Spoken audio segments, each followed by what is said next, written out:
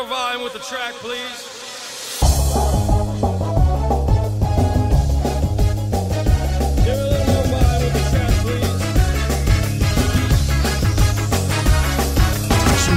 Take your clothes off and go dancing in the rain